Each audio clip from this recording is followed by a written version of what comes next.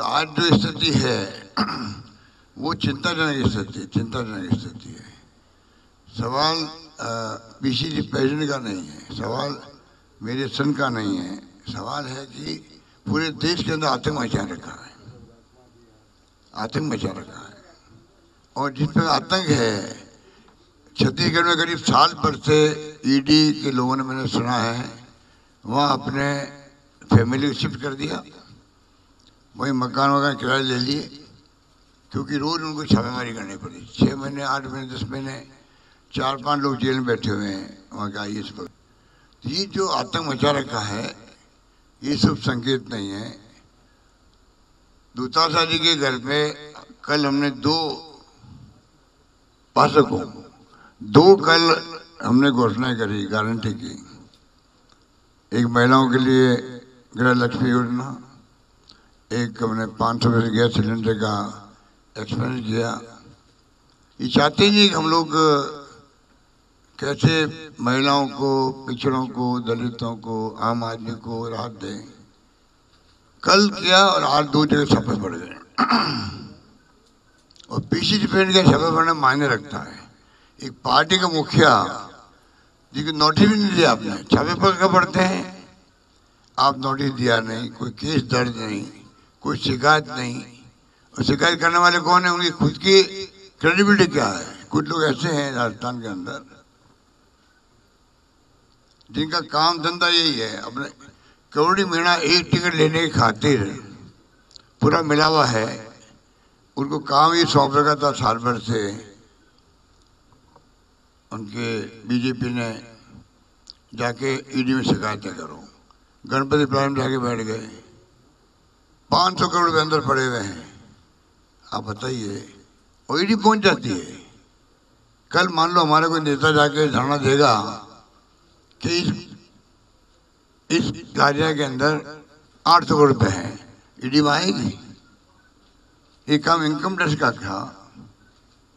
शिकायत income tax करते हुए कि मेरे को इतना मिली है कि गणपति प्लाजा के लॉकर से पैसा, ब्लैक मनी है। इनकम टैक्स जाँच करती, कुछ भी करती।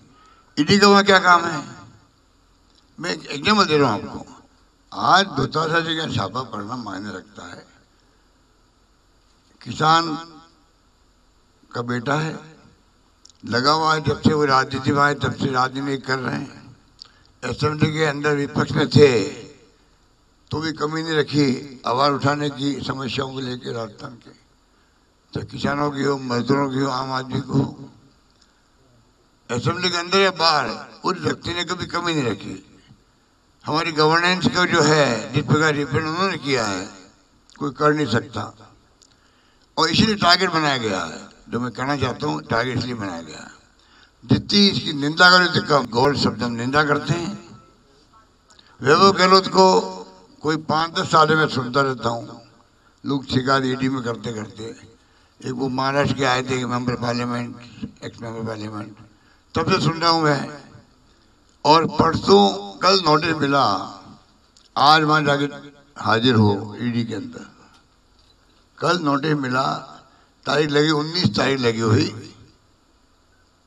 कल पच्चीस को नोटिस छब्बीस को आप हाजिर हो जाओ। तो क्या है? तो ये मज़ाक नहीं है क्या? ये हमको गवर्नर ने भी हमारे साहब ने कहा कांग्रेस पार्टी उसके नेता कोई घबराने वाले नहीं है।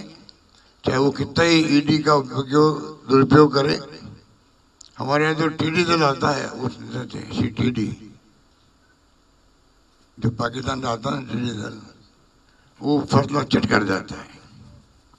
ईडी इनकी फ़सलों को चट कर जाएगी ईडी जो है ना बीजेपी की ऐसी हालत खराब करेगी गाँव गाँव बात फैल जाएगी।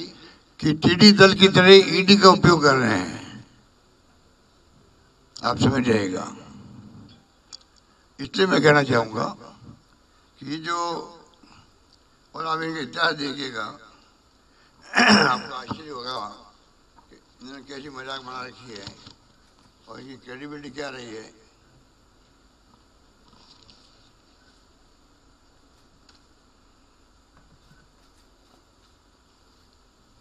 दो चार छः चौदह के बीच में, जब यूपी गवर्नमेंट थी तो 112 सर्च की गई 112 सर्च की गई। क्योंकि जैनुन सर्च की गई थी जैनुन कंप्लेंट थी, इसलिए 112 में से 104 के खिलाफ चार्जशीट पेश की गई। मतलब 112 सर्च और 104 चार्जशीट पेश कर दी गई। 93 परसेंट ये उसका काम था। अब क्या हो रहा है? चौदह के बाद में तीन हज़ार दस जगह छापे डाले छापेमारी की तीन हज़ार दस।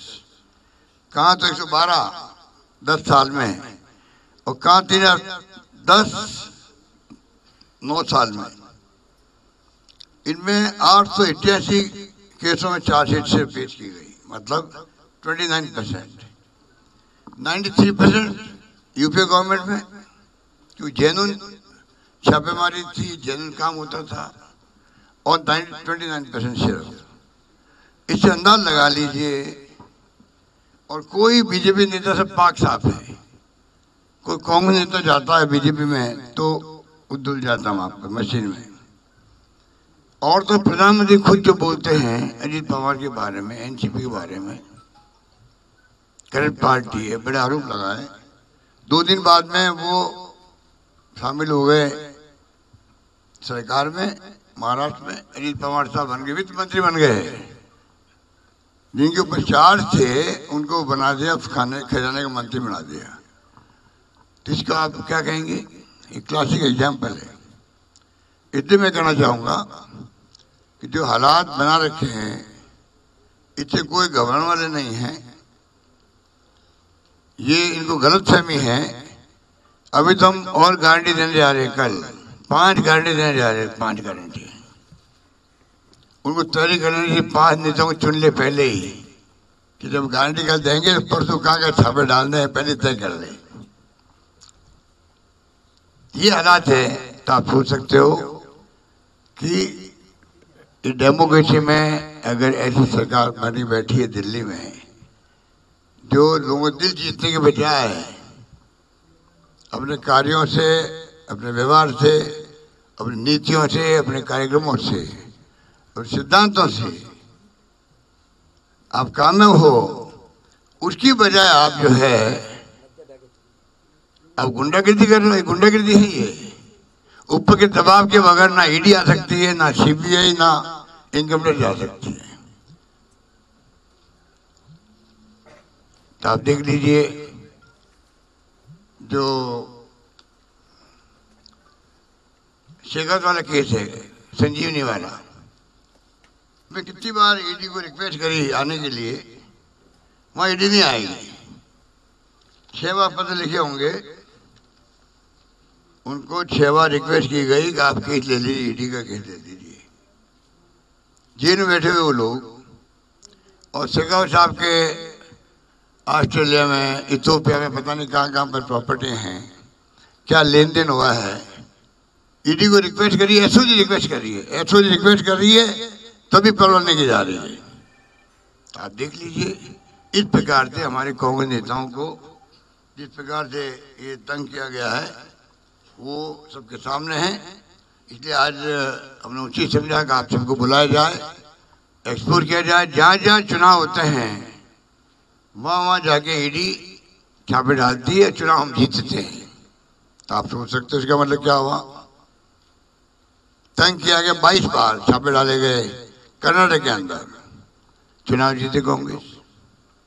हवा चल रही है छत्तीसगढ़ के अंदर, कांग्रेस की। वहाँ तो मैंने कहा साल भर से बैठे हुए ईडी वाले, मकान किराए लेकर बैठे हुए, छापे डाल डाल के लगातार तंग कर रहे हैं मुख्यमंत्री को, सरकार को। वहाँ कांग्रेस जीते जा रही है। राजस्थान में आप देख देखिए, स्थिति क्या है कांग्रेस की। मैंने कई बार कहा, आपको इस बार सरकार का मन है सरकार रिपीट करने का। ये माहौल बन चुका है राजस्थान के अंदर। इनको तकलीफ़ हो रही है, डरा रहे धमका रहे ये लोग। महाराष्ट्र में क्या किया? जिन जिन खिलाफ मुकदमे थे ईडी के क्या शिवसेना टूट के गई अलग तो उन्हें मुकदमे वापस ले लिए गए नेताओं के। जो अजीत पवार के साथ गए थे साथ में, जो सरकार को, उनके मुकदमे वापस ले लिए गए, ये हालात था